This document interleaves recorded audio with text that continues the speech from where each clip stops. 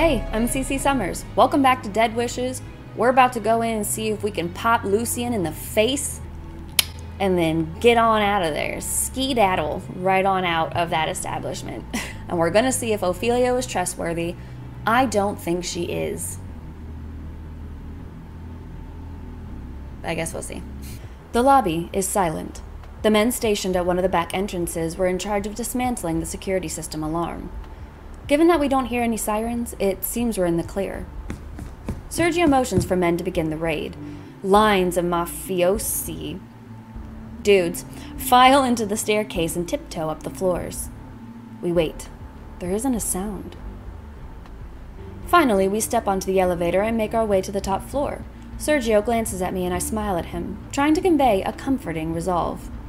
Sergio turns to face the elevator door. Ira's gun is pointed forward as the doors slide open. The hallway is empty. Ira steps off first, clearing the hallway of any hidden gunmen. She nods to Sergio, and he steps towards the single door on the hall. I watch Sergio close his eyes, breathe in heavily, and then bring back his leg to kick in the door. Ira immediately enters, searching the room for our target. It takes him all of 10 seconds to enter the room, disheveled and holding a pistol. I see Sergio freeze. It's not the gun that scares him, but the gravity of the situation. He's going to have to attack Lucian, the man he loved. Sergio. So it's you. Oh my. My, my, darling, it took you long enough to make a serious move. I was waiting to see how long it would take for you to grow hair on your balls. Why do I like talk about balls so much? Like, relax. Shut up. We're frozen in place, holding guns to one another. Ira steps forward, but Lucian is unfazed. Now, now, that won't do. Three against one? That's no fair. Perhaps your little cupcake here would like to even the odds? Come here, little dove. No way would I ever do that. Come here. Face me like a man, Sergio. I'd like to see those big balls of yours. Good grief. then again, I've seen them plenty of times before. I said, shut it. Drop your gun. We've got your assistant as a hostage. Hmm? Oh, Ophelia? I thought so. Well. And she was so useful. It's a shame I'll have to let her go for colluding with you. It's your own damn selfish bastard. Treating people like they're trash. Exactly. Lucian laughs at this. Well. How are you any different? Using your men as shield when you come to attack me? That's not very fair. Why not do it all yourself? Are your men expendable? Shut up. We're doing what's necessary. Sergio. Let's finish this. We've heard enough. She's right, Sergio. He isn't going to give you any closure. It's time to end this. Sergio's gun shakes. Lucian is even more pleased by this. As much as he claims to be a hard man, this is all he can do. You don't measure up to be a very impressive specimen, Sergio. Perhaps I left you because you just weren't good enough. Ouch. Shut up. That's not true. Lucian raises an eyebrow and turns to me. Hmm. So you're still with him? I'm surprised and somewhat impressed. It's been like a week. It's so saddening that you insist on staying with him. Look at what a terrible situation he has put you in. I would never do such a terrible thing to you. You literally have your assistant locked up as a hostage to an opposing mafia. And you're like, oh. Okay. Oh well. I was thinking you'd make a lovely escort. Some of our older clients would love to have fun with you. Gross. Ew. It's a shame you wasted that potential on him. Yeah, no, you're gross. I wouldn't work for you if it was the last job on earth. Little dove. Don't be so sure. I'll have you singing a different song soon enough. He raises the gun to shoot Sergio, but Ira is faster and pushes the gun from Lucian's hand. It slides to the floor, and I run to retrieve it. By the time I have it, Ira has wrestled Lucian to the floor. Sergio is standing perfectly still, dumbstruck. Don't say that. Enough. It's over. I will kill you right now. Sergio, you don't have to do it. Give the order and it will be done. You don't have to watch. I have to do it. I. It only takes a moment of Sergio's hesitation and a second of Ira's distraction for Lucian to throw her off him. I move to pull my gun from the holster, but I'm too late. I hear the shot right across the room. Ira is back on Lucian, throwing the weapon he concealed under his robes to the floor. Blood spurts from Sergio's shoulder and he clenches his teeth in pain. Sergio, where did it where did the bullet hit you? it's nothing, Cupcake. It's I'll be fine. In my shoulder is all. Yeah, it's fine. It's just a flesh wound. It's evident that he's having difficulty speaking. I move his jacket to try and find the wound. There's no time for me to think about Ira and Lucian. Yeah, why would you want to neutralize the immediate danger and make sure that he doesn't get shot again when you can just go look at his bullet wound and be like, yep, that's a bullet wound. In place of a bandage, I wrap Sergio's coat around the bullet wound and apply pressure. I can only pray that it's enough to help him. Ira's gun fires behind me, but I'm not paying attention. I have to keep the pressure. Keep the pressure. Hold on, Sergio. Just hold on.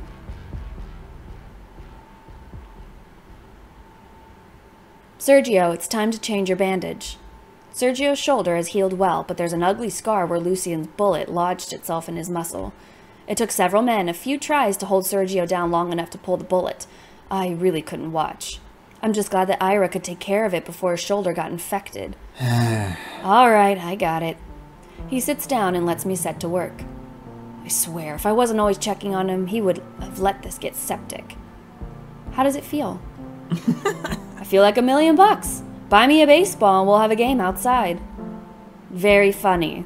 Seriously, though, does it hurt? Nah. Itches mostly. That's good. It's healing. Don't scratch it. Thanks. Aye, aye, cupcake. I'm surprised that Sergio is taking his injury in stride. He's not taking his injury in stride, he's bluffing. He just got shot by a man that he loved that betrayed him. Like he already thought that he had done the ultimate betrayal, but then the bitch shot him and tried to kill him, so, you know. But I'm sure he's fine. I've watched Sergio over the past weeks, and I think he's relieved at the change in leadership. He's much more lighthearted and cheerful. Sergio's phone lights up as I'm applying antibiotic ointment. He answers with his free arm still grinning. Huh? Yeah? I hear the shrill voice of Ophelia over the phone. Are you kidding me? I said to order a set of blushes, not setting powder. Are you all idiots? Guess so. Calm down, girlie. It's not the end of the world. Wow. You have no idea how much this is going to push back appointments. Now I have to go order them myself and send back these mistakes you've gifted me with. Thanks so much. Wow. Why don't you just order them yourself then? It won't kill you to get out of the building. Look, I'll send someone over to get the form. Cece should be up to it. Gross. I don't want your lover coming here to spread your germs all over my office. Ew. Fine, I'll fix this myself, just this once, but try to be more careful in the future. Gotcha. Right, right. Hey, you know you're supposed to call Ira, right? She's the one in charge. Ugh. You don't have to remind me for the hundredth time. Obviously, I just like to call and yell at you. Couldn't you tell, idiot? Okay. Yeah, I hear you. I'll pass it along to the boss. The phone clicks as Ophelia hangs up. Damn, that girl is something else. What are we supposed to do with her? Don't worry about her. It's me you should be concerned with. If you don't start taking care of this shoulder, I'm gonna spank your bum.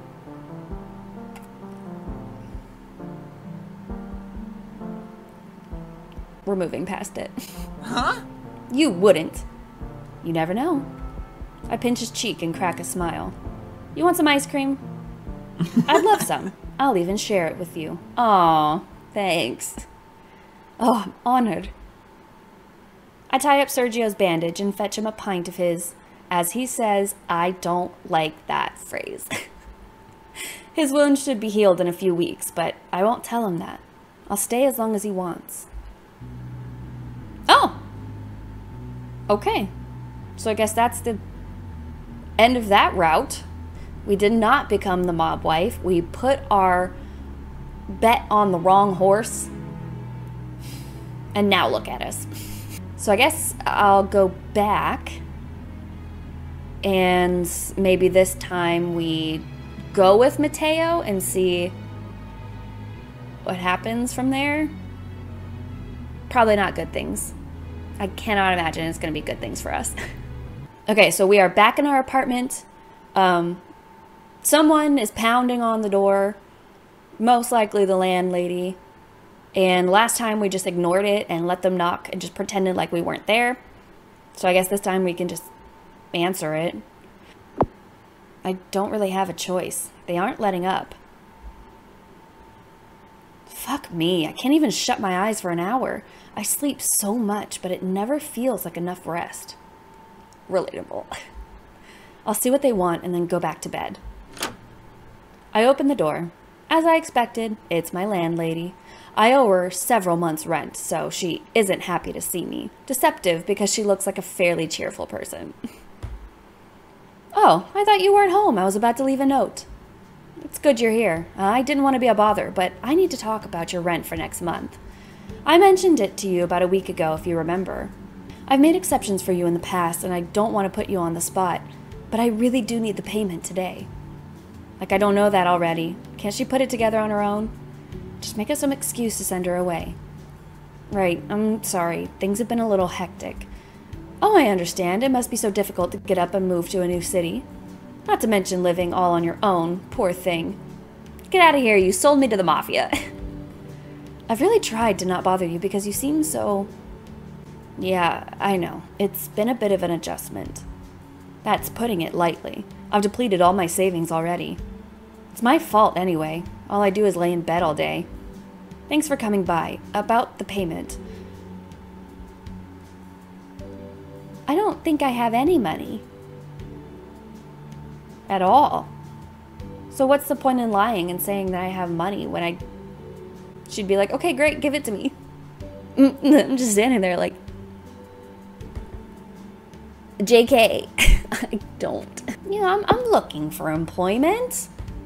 That's so good to hear. I was getting a little worried since I don't usually see you out and about. I didn't know if you were having trouble finding some employment. Maybe I shouldn't have said that. I've barely left the apartment and I don't know what to tell her. I just can't admit that I'm broke now. Yeah, so if it isn't too much trouble, I know that you really need the money today, but can you wait another few days? I promise I'll pay you back.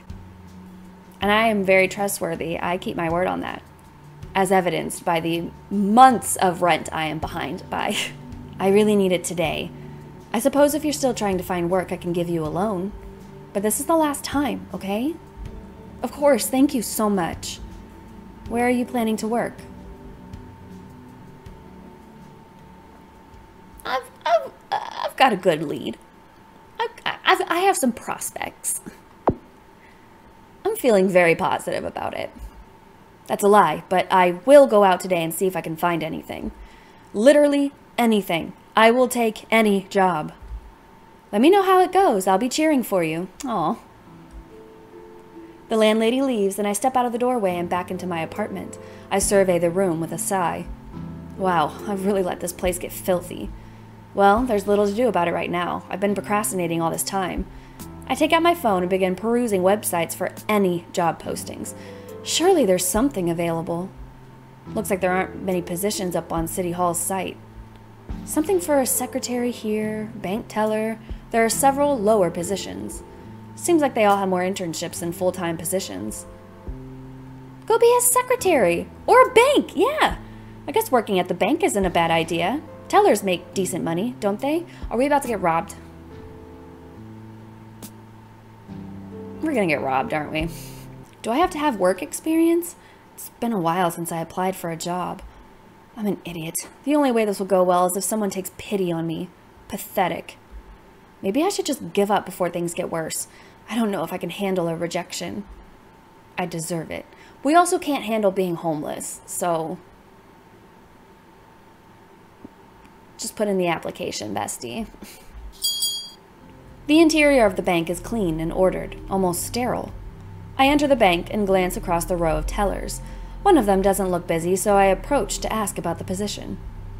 Good afternoon. How can I help you today?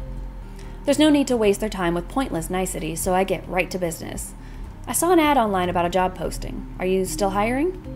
I believe so, but I'm sorry to say that I'm not qualified to speak to you about that. If you want to apply for the position, you'll need to meet with the bank manager. Oh, right, there's a process to these things. I don't know what I was thinking, just waltzing in here to ask for a job.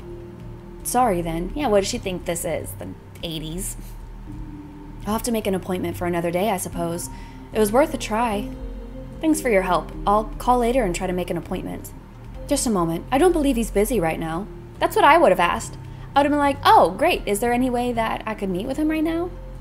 And then if not, let me leave my contact information. We really don't want a job, do we? if you don't mind, I can take you up to his office. Oh, really? If he's busy, then we'll make an appointment for you. Is that okay, or are you short on time? I've got nothing but time. Sure, that's fine. Thanks a lot. The teller leads me to the elevator and pushes the button for one of the top floors. The elevator feeds into an open lobby, at the end of which is a solitary door. Ornate designs are carved into the wood spanning the expense, or the frame. The teller straightens and tucks her hair back before tapping on the door. Sorry to bother you, sir, but there's someone here about the vacancy. I'll send them in. The teller turns back to me, her voice hushed. It's all right. He has a few minutes to spare. Go on. A dour man sits at a desk as equally clean as the bank lobby. He does not glance up when the door shuts. His nameplate reads Vincent Pate. To his side is the city skyline, clear and bright. Without shades or drapes, the placement of the office's window invites a blast of afternoon sun. The man looks engrossed in his work. I tiptoe closer. He puts down his pen and finally meets my eyes. He looks a little intimidating, doesn't he? His face is stern. The way he's staring feels like he's picking me apart with his eyes. Yeah, I don't know if we're polished enough for this job. It's a little too fancy. And I am not fancy. I avert my gaze, uncomfortable with his unflinching stare. Um, Good morning. can I help you? His question is crisp, deep, and clipped. It seems I'm interrupting him after all. Yes, uh. Let's just ask about the job. We're already talking to him. We're already here. I'm here to ask about the job posting. I saw the ad on City Hall's website. The teller told me I could speak with you about it. I hope I'm not interrupting anything important. I don't mean to be a bother. Nah, be confident. You can be like, I understand that you're really busy, so I really appreciate you taking time out of your day to speak with me about this teller job that I found. Can you tell me more about it? Boom. Fancy job. All yours. Yes. Of course. Don't worry, you're not disrupting me. Please have a seat. Make yourself comfortable. May I ask your name? He gestures to one of the chairs across from his desk, and I sit down as bid. It's Cece. Cece, it's a pleasure to meet you. You may have noticed that the ad- I can't do that. I can't. I can't keep that voice up. You, you may have noticed that the advertisement was vague. There was a distinct lack of details on the posting. I had one of my assistants submit the notice a few days ago, and I regret that there is not more information. Hmm. Unfortunately, my assistant neglected to describe the position in detail, and we have not had much luck with applicants. No one wants to bother applying for a job when they don't know what to expect. I thought that people would have more initiative, but that has not been the case. Until you, of course. His mouth pulls up, content. He has a kind face when he smiles. What's the catch, sir? What do you mean? I allow myself to relax in the chair. Sure, I'm very interested in getting money from you. I was still interested, even if the advertisement didn't have very many details. Indeed. Perhaps the position was destined for you. Uh, I'm kidding. Did you bring your resume? I'll look it over. Right. I thought I might send it to you later. To be honest, I didn't expect a meeting with the bank manager. I thought I would pick up an application and submit it later. I'm really surprised that. Pardon me? Excuse you, I was talking. Hmm. The head of the branch. Sorry? I'm the head of the branch. Smaller cities might have a city manager, but I'm the head of this region's cluster of banks. Oh, I'm sorry. I didn't mean. The teller from before referred to you as the manager, so I thought. It's all right. I only wanted to make you aware. Yes, I, I needed to know how important you are. My apologies, sir. There's an uncomfortable silence before the conversation continues. So, about your application. Listen carefully. I can give you all the necessary paperwork for a formal application, but while we're here, why don't we chat? You can think of it as a friendly interview. It would make me feel better if he smiled, perhaps to soften the atmosphere. Mr. Pate's solemn expression carries all of the connotation of a professional interview. Despite that, he's being very accommodating. I really need this job. I need to make a good impression. Ask me whatever you like. I will. Firstly, why do you want to work at a bank? Because you're offering money and I want it. This is where he's starting? The most bland interview question of them all? I feel like the most bland is tell me about your strengths. If you could describe yourself in one word, what would it be? I wonder if interviewers expect people to give them a sincere answer.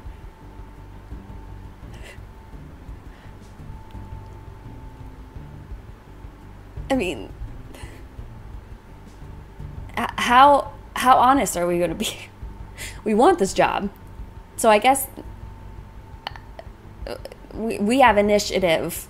We we are interested in this job. We want this job for skills. I would like to further develop my customer service skills. In the past, I've worked with many different kinds of people, and I'd like to continue. I see. Hmm. And how about you tell me the truth now? I just like listening to lies. Oh no. Oh, oh, he called us out so hard. My muscles tense. He caught me. I don't know what you mean. No matter how good of an answer that is, it's generic. I would like to know why you really want to work here. Well, I don't care how good of an interviewer you are. Your questions are generic. Generic questions get generic answers. I have nothing to lose in telling the truth, so I do as he asks.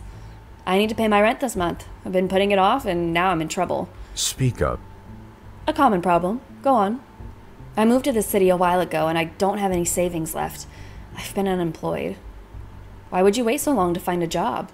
One would think it's logical to find employment before you moved here. I know, it looks bad, and it was really stupid of me. In truth, I had a few personal issues with my family. My parents passed away. Vincent's face falls, and his calm confidence weakens. That is regrettable. It is difficult to undergo traumatic loss unscathed. I can't help it. I can't help Every time his voice actor comes up, I'm just. Forgive me, was it both of your parents at once? Yeah, there was an accident, and I'm all alone. How terrible for you.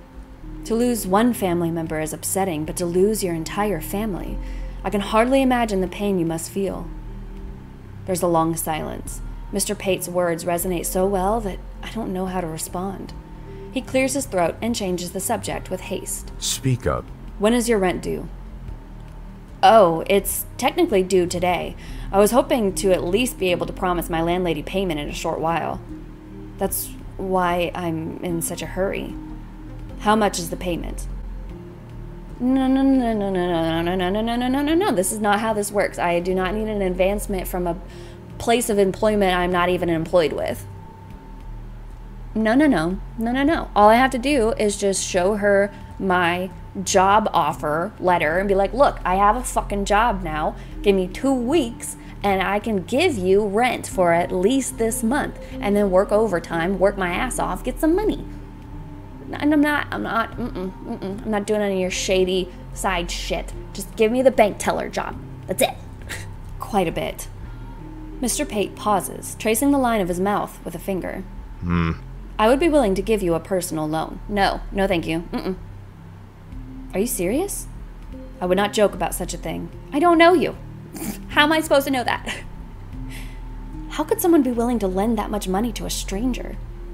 Then again, he must be fairly wealthy to be in this position. I guess it's chump change to the rich. Uh, No, no, I'm good. No thanks. No, it's very kind of you, but I really can't accept. Because I don't want to owe you anything. I'm already, I'm already drowning in personal loan debt. I don't, I don't need any more. It's crazy to give a loan to someone you just met. What does he want in return? Exactly. Oh? I can't just accept money like that. How do you know I'm a trustworthy person? I mean, I might just take the money and run. the simple fact that you point this out leads me to believe that you are trustworthy. That is that is a dumb basis for trying to find out if people are trustworthy. that is a bad test. Well, if you really want to. No, no, no, no, no, no, no. And, as I said, it's a loan. I'm not giving you the money for free. I'm helping you, and you will repay me in time. No. No. By working here? There are a few moments of silence as I put together what he's proposing. Yes. That is correct. We'll consider it your trial period. After the debt is repaid, and if I find your work sufficient, then I will consider offering you a full time position. I already want a full time position.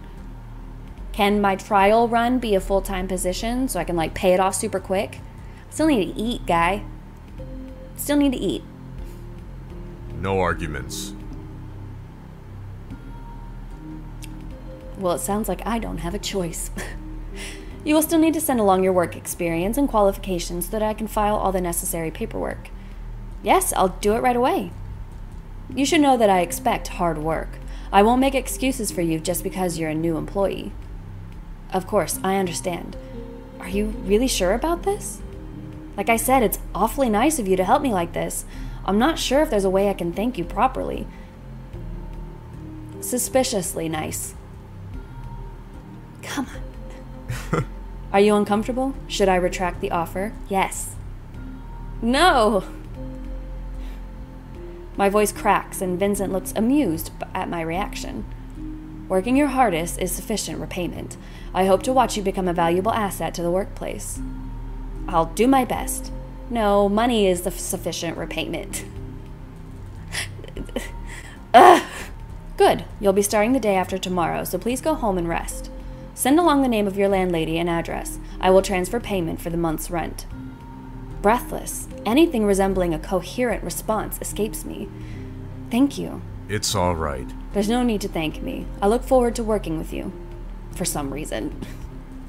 Can you see yourself out, or should I accompany you down the elevator? He stands from his desk and rebuttons his jacket, smoothing invisible wrinkles. With this movement, I'm greeted with the subtle scent of an airy cologne. I'll be fine on my own, thank you. Down the elevator and out the door. No need to trouble yourself. It isn't any trouble, but if you will be fine on your own, then I'll return to work. Goodbye. Until tomorrow. The, until the day after tomorrow. Sir. I'm given a speedy tutorial about the account system, but it's hard to remember everything I was told in such a short time. I suppose the other tellers think I've worked at a bank before and that the training is unnecessary. It's only my first day, and I already have so many accounts to look after. Ugh. No use in complaining. I guess I'll just have to figure it out as I go along. The bank is somewhat busy. Unfortunately, I don't have a moment's reprieve to wallow in self pity because a customer approaches my station. Hello, sir. How can I help you today? I need to make a withdrawal. I can do that for you. Did you fill out a withdrawal slip? The customer hands me one of the pieces of paper we ask our account holders to submit for substantial withdrawals. It asks for their account number so that tellers can fill their requests without incident. Okay, account number here. So, do I just type it into this slot? I pray that no one sees me fumbling at the computer. Um, okay, that seemed to work. Three accounts listed here. I think it's supposed to be this one. There. So, where does the money come out? I look around searching for a machine that looks like it might dispense cash. Oh, wait, it's over here. God, idiot. You don't want to check an ID? This man just walks up and says, I want to take money out, and gives you an account number, and you're just like, okay, great, and then just like give him a shit ton of money. Come on. Now I just need to put the money. Count it. Count it first. I count out the cash on the counter. Here you are, sir. Thanks. Is there anything else I can do for you? I need a receipt. Idiot. I should be able to remember that much. Of course, I'll get that for you. Um, so where do I go to print the receipt? Is it back in the account menu? I glance around trying to find out if any of my coworkers are free to help me. Everyone around me is engrossed in their own work. Just forget it. I need to get going. Yes, I'm sorry for the inconvenience. Please enjoy your day. The customer leaves and I berate myself for my terrible service. It's glaringly obvious that I'm unqualified for this job, but I have to keep going in order to pay back my loan. Oh, another customer already. I hurry to greet them as the lines of patrons grow longer and longer. Much of the day continues in this manner. Unable to complete all of my transactions, my coworkers were forced to pick up the slack. Despite these difficulties, I know it's impossible for me to give up. I don't have any way to pay back my loan besides this opportunity. I pack up my things for the day and make my way home. So many people out this time of day. There's no way I can catch a bus. I dig in my pockets for spare change, but all I find is a crumpled receipt. Not even enough for a bottle of water. I notice a familiar face in the crowd. A few feet away, Mr. Pate chats on his cell phone. Like before, he's busy. I don't want to trouble him, but I also don't want to be rude. Should I go over?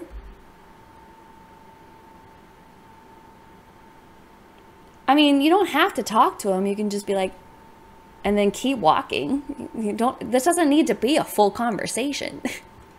Let's do it. Let's have a chat. I decide to say hello. As I approach, the frown on Mr. Pate's face melts away. I'm sorry. I'll have to call you back.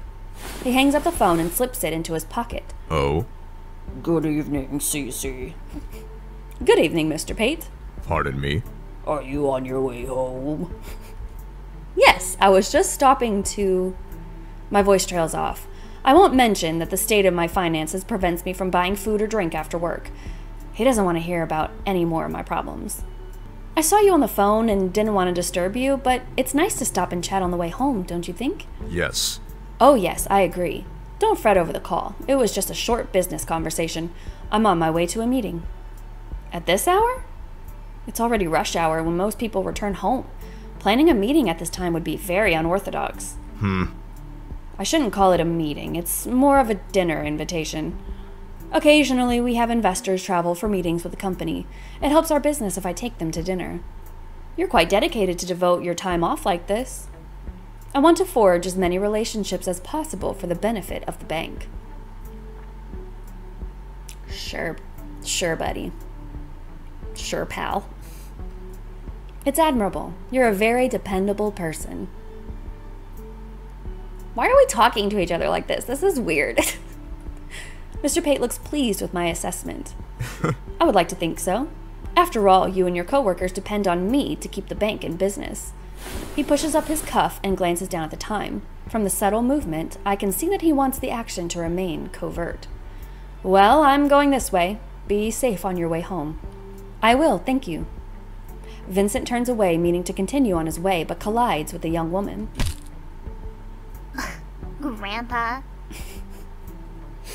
Well, hi, Ophelia. Pardon me. Gross. Are your glasses clouded from your old man sweat? Move it. Get out of my way! He gives a curt nod to the woman before walking away. What? What are you looking at? The woman gives me a sharp glare of derision and stomps off. I continue home. Listening to Mr. Pate's plans for the afternoon makes me realize that I shouldn't complain about my position, no matter how difficult I find it. People like him run the company while relying on lower members of the business to complete their work. It's a pyramid. If the lower bricks crumble, then everything will fall down. Which is like something you would think business owners would understand, like large companies and shit. But they don't. I nod once, confirming the motivation I've drawn from our chat.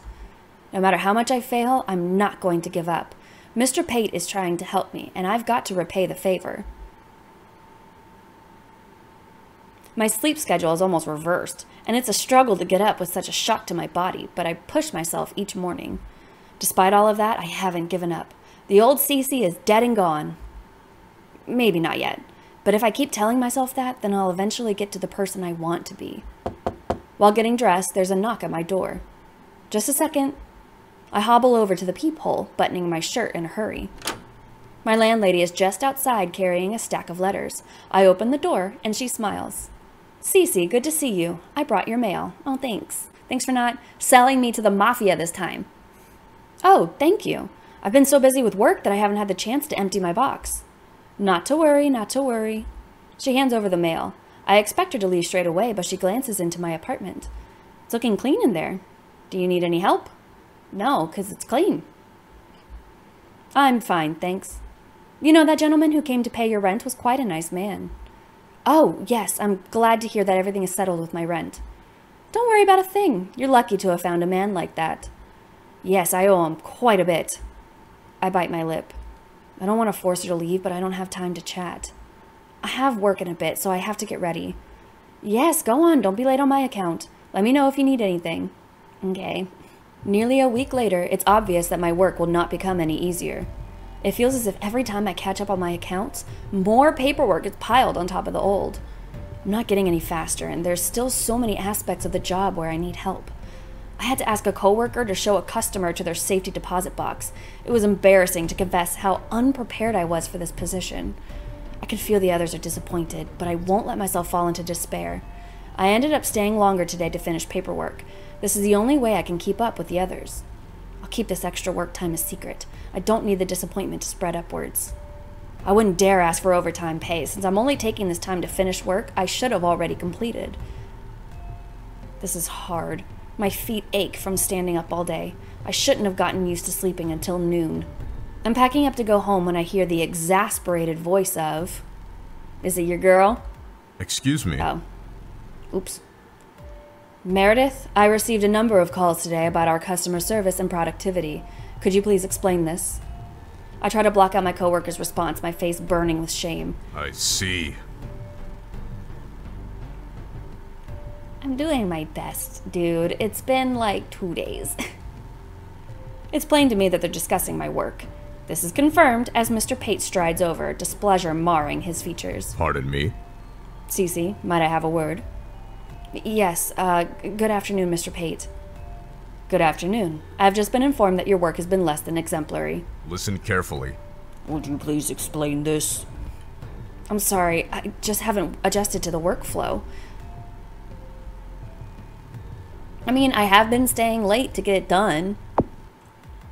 I'm sorry. I stayed later today to finish up the leftover paperwork that's from today's accounts. I know that everyone is having to pick up my slack, and that's no good. I'm really sorry. I want to do better. My head hangs down like a guilty puppy standing over a torn pillow. It's mortifying to talk like this to someone. I feel like I'm groveling. I am groveling. I know that you've hired me out of goodwill, and I've done nothing to earn that kindness. If there's something I can do to make up for the past few days, please let me know. It's all right. Huh? Having an attitude of regret and a desire to improve is not bad. It tells me that you are an ambitious person. Or, in the least, you are a humble person, capable of acknowledging your faults. I don't want to disappoint anyone or be the cause of problems. It's gonna happen though. Like, it's fine. It's a learning curve. You have never done this before. And I feel like they should have known that because we gave them our worst, our, our past work experience. Did we not? Did we not hand them a piece of paper that says, here's all the things that I've done in my past? And working in a bank was nowhere on it? Like, give me more than 20 minutes to learn the systems. like, I feel like if he wanted his bank to be ran, like, with such precision, he would have wanted, like, an intense training for me to make sure that I know what I'm doing before just throwing me out there and then giving his bank a bad reputation. It's his fault. No one does. If you like, I can give you some advice about your work. I'll be sure that you understand all expectations of the job. You should have done this the first day. It's not too much trouble? No. Not at all. But forgive me for saying we ought to speak tonight rather than prolong the issue. My schedule is free for the night. Let's speak privately. Follow me upstairs. Is this where I earn my job? Because I will bite you. Why upstairs? It's where we can be afforded the most privacy. I will bite you. I assume that discretion is something you would appreciate when the topic of conversation is improving your work. Oh, that's true.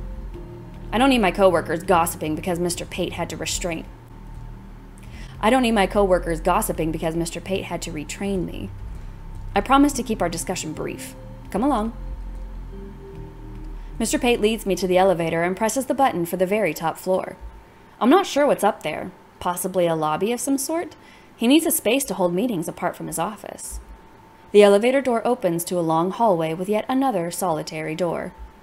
Vincent produces a set of keys from his jacket pocket. Pardon me. Inside, please.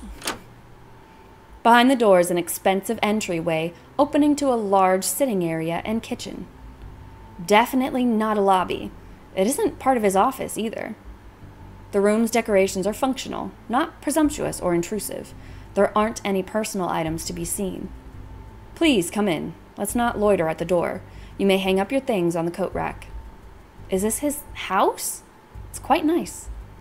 I love all of your beige furniture. I love the decorations and furniture. Did you pick it out? Or your spouse? No. I'm unattached. Oh? unattached. So he's single? I imagined he was married.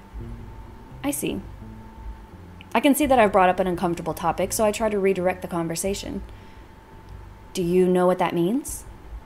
Mr. Pate gives me a puzzled glance. It means you have excellent taste in decorating.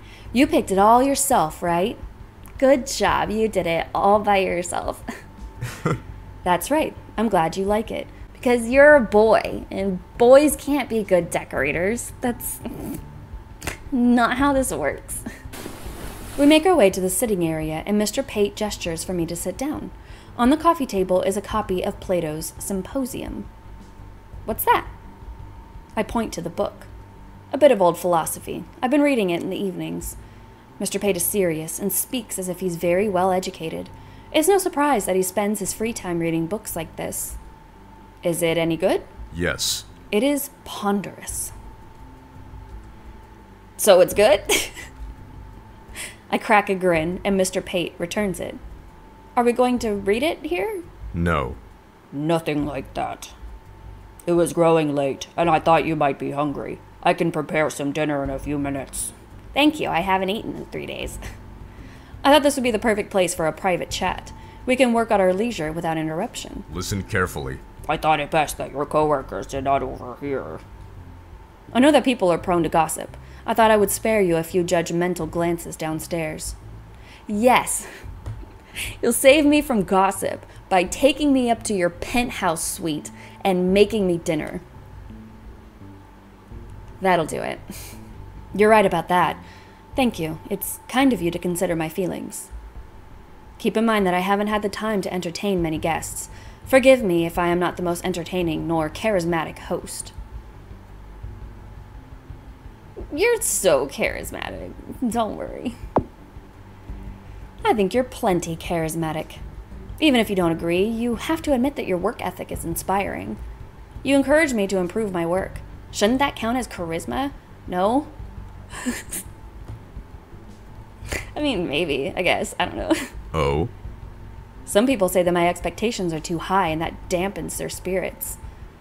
I don't know about that. I have high expectations for myself. Isn't it a good thing? I want to improve myself. I don't think pushing others to work hard isn't necessarily bad. I couldn't agree more. Cece, I'm very happy to have you working with me. Thanks. Pay me. I'm grateful that you gave me a chance and helped me. Hmm. I suppose we should get to work. Now that we are here, we should discuss your productivity. Right, of course. I do not think your work quality is bad, but the quantity is lacking. What I mean to say is that you take care of accounts, but not as many as you should in the allotted time. I, I should have done even more. It's my fault. I should have worked harder. Because working harder would make up for the fact that I have not been adequately trained. Hmm. Yes. While I don't desire to work you to death, putting in some effort to assist your coworkers is a good idea. As you did today. Well done. If nothing, at least he sees that I'm trying. It's all right. What is done is done. We can only move forward from here. Let's put the matter aside and prepare dinner. That's weird. That's so weird. Our work discussion can wait until after the meal. I help Mr. Pate with dinner preparation at his instruction. Besides my apology, we let work matters rest. Mr. Pate pours me a glass of wine with our food. Even weirder. This, this is so weird. This is not a professional work environment. Careful there.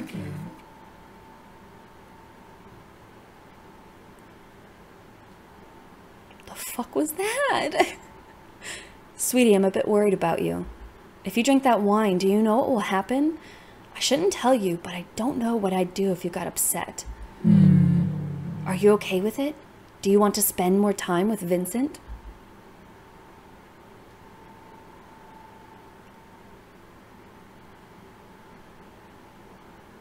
Does this mean that the wine turns me into a giant slut? And that I would just sleep with him because I'm drunk? Because honestly, same. sure. I'm surprised. So you're sure about that? You won't be upset? well, now it depends on what happens. he can do whatever he likes. You're fine with it, right? He shouldn't be able to. Do, is he drugging me? What is this?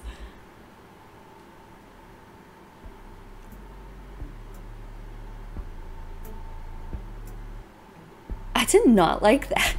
So, what the fuck? Is there like a supernatural element to this? I mean, I dig it. I think it is very cool. Did not expect it though. So, is is this supernatural? Is there like a like a like a, a spirit or a demon or something, or is this more psychological, like a like a a, break in our brain, like a split, something that like a psychosis? It's interesting. Whose voice is this? It, was, it sounded like a feminine voice. Could this be one of our dead parents? And what what do they mean by do you want to drink the wine because then he can do whatever he wants to you? Like don't want you to be upset. What does that mean? What does that mean? What do we do? Do we turn crazy when we're drunk? Do we just black out with a little bit of alcohol and or is he drugging us and this is a supernatural being so it's just trying to warn us? I don't know. But I guess we'll find out next time. Be safe out there. Don't drink anything from anyone that has been pre-opened. Just just a general life tip, whether he's about to drug us or not. Pro tip.